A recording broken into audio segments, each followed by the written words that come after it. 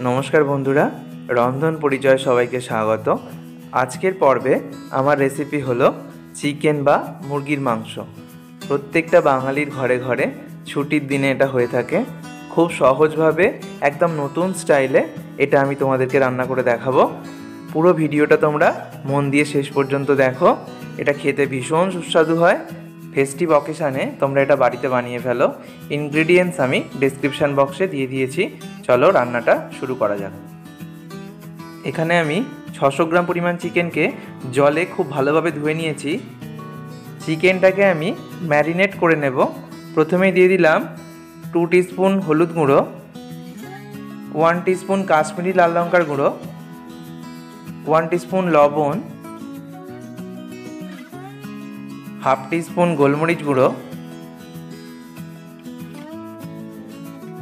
One tablespoon vinegar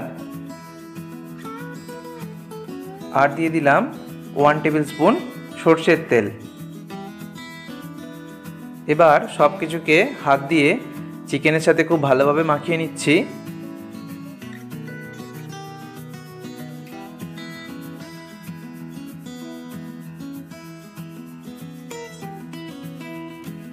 সব কিছুকে চিকেনের সাথে খুব ভালোভাবে মাখিয়ে নিলাম। এবার এটাকে এক ঘণ্টার জন্য ঢাকা দিয়ে দিলাম। এবার আমি পেঁয়াজ, আদা, রসুন ও কাঁচা লঙ্কা নিয়ে নিয়েছি। মিক্সারের মধ্যে নিয়ে নিলাম একটা মিডিয়াম সাইজের টুকরো করা পেঁয়াজ। দিলাম আদা কুচি, পনেরোটা মতো রসুন ও দুটো কাঁচা লঙ্কা। এবার এগুলোকে আমি মিক্সারে পেস্ট বানিয়ে নেব। মিক্সারে আমি পেস্টটা বানিয়ে নিয়েছি। এবার এই পেস্টটাকে একটা পাত্রের মধ্যে আমি ঢেলে নিচ্ছি।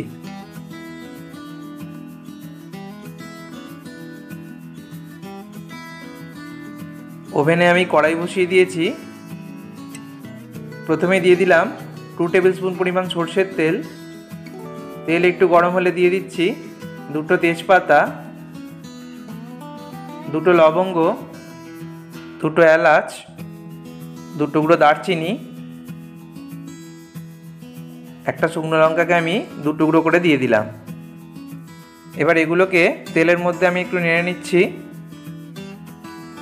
এবার একটা বড় সাইজের টুকরো করা পেঁয়াজ আমি দিয়ে দিলাম।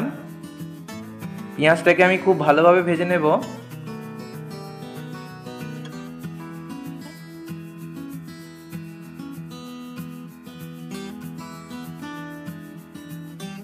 পেঁয়াজের উপর আমি ওয়ান টিস্পুন চিনি দিয়ে দিলাম। এই চিনিটা দিলে পেঁয়াজের কালারটা খুব তাড়াতাড়ি চেঞ্জ হয়ে যাবে।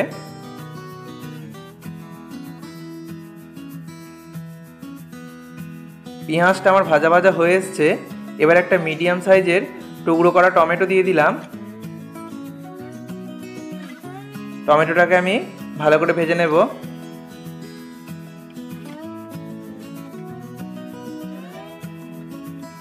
এক মিনিট ধরে ভাজতে ভাজতে টমেটোটা আমার অনেকটাই গলে গেছে।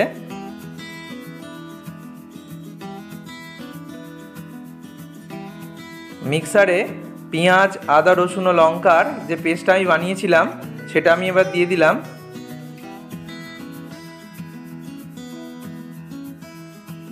এবার সব কিছুকে ভালোভাবে আমি কষিয়ে নেব।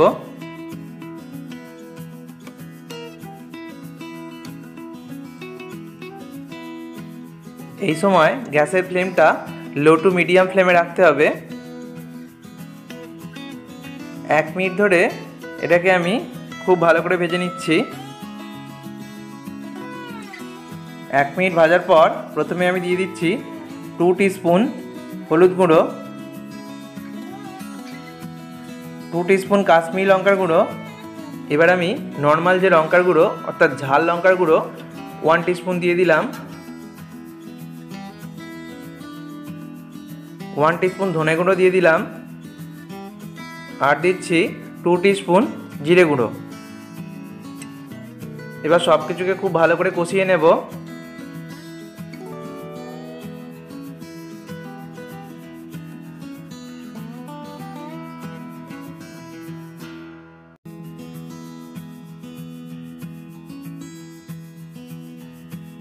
লো ফ্লেমে দুই মিনিট ধরে খুব ভালো করে আমি মশলাটাকে কষিয়ে নিয়েছি।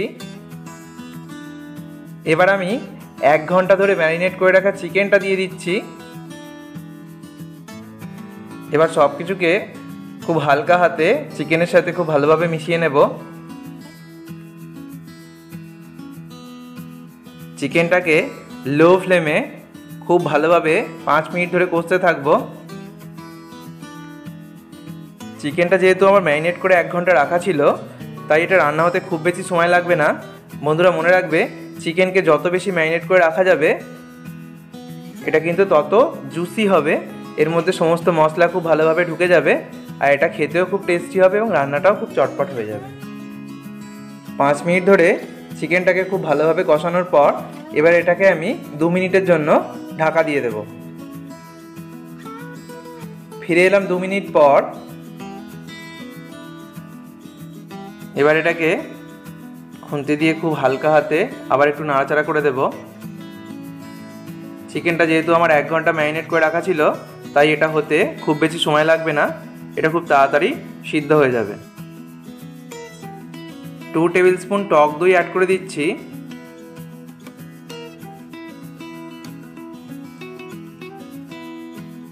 এবার দিয়ে দিচ্ছি টু স্পুন লবণ আর হাফ স্পুন চিনি।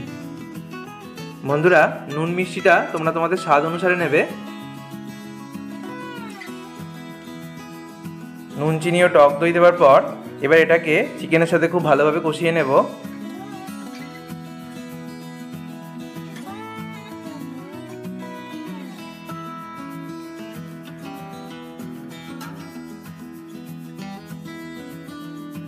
আবারও এটাকে আমি এক মিনিটের জন্য ঢাকা দিয়ে দিলাম। এক মিনিট হয়ে গেছে। দেখো বন্ধুরা কালারটা চেঞ্জ হয়ে কত সুন্দর হয়ে গেছে।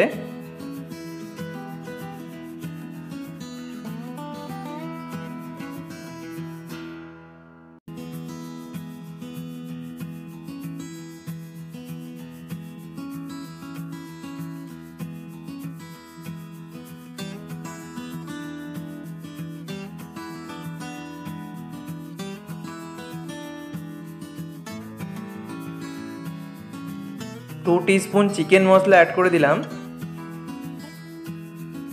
চিকেন মশলাটাকে আমি সব কিছুর সাথে ভালোভাবে মিশিয়ে নেব। এই চিকেন রান্নাতে তোমরা চাইলে জল নাও অ্যাড করতে পারো। তবে আমি যেহেতু একটু গ্রেভি রাখতে চাই, তাই এক কাপ উষ্ণ গরম জল অ্যাড করে দিলাম। গরম জল দেওয়ার পর আবার ভালো করে সব কিছুকে মিশিয়ে নিচ্ছি।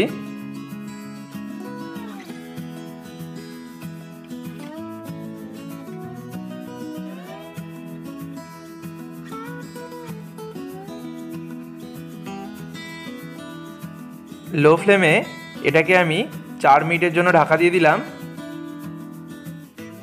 ফিরে এলাম চার মিনিট পর।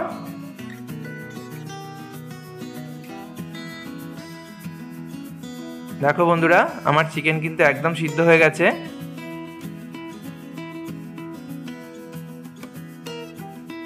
সবশেষে আমি উপর থেকে টু স্পুন গরম মশলা গুঁড়ো ছড়িয়ে দিলাম। গরম মশলা গুঁড়োটাকে চিকেনের সাথে ভালোভাবে মিশিয়ে নিলেই আমার চিকেন রান্না একদম কমপ্লিট আমি গ্যাস অফ করে দিলাম। এবার এটাকে আমি দু মিনিট ঢাকা দিয়ে স্ট্যান্ডিং টাইমে বসিয়ে রাখব। দু মিনিট পর ফিরে এলাম। বন্ধুরা, আমার চিকেনেরই প্রিপারেশান একদম রেডি এটাকে আমি সার্ভ করে দেখাচ্ছি। বন্ধুরা, আমি যেভাবে দেখালাম, তোমরা ঠিক সেইভাবেই বাড়িতে ট্রাই করবে। এটা ভাত, রুটি, পরোটা, নান ফ্রায়েড রাইস সব কিছুর সাথেই খাওয়া যেতে পারে। চিকেনের এই পদ রান্না করে বাড়ির সকলের মন জয় করে নাও এবং কেমন হয়েছে সেটা আমাকে কমেন্ট করে জানাতে ভুলবে না। বন্ধুরা, আমার এই রেসিপি যদি তোমাদের ভালো লেগে থাকে, তাহলে আমার চ্যানেলটা প্লিজ সাবস্ক্রাইব করবে, আমার চ্যানেলের অন্যান্য রেসিপিগুলো দেখবে, সেগুলো ভালো লাগলে লাইক করবে, আর বন্ধুদেরকে শেয়ার করতে ভুলবে না। পুজোয় বাড়িতেই থাকো, জমিয়ে খাওয়া দাওয়া করো, আর সুস্থ থাকো। আমার এই রেসিপিটা দেখার জন্য তোমাদের সকলকে ধন্যবাদ।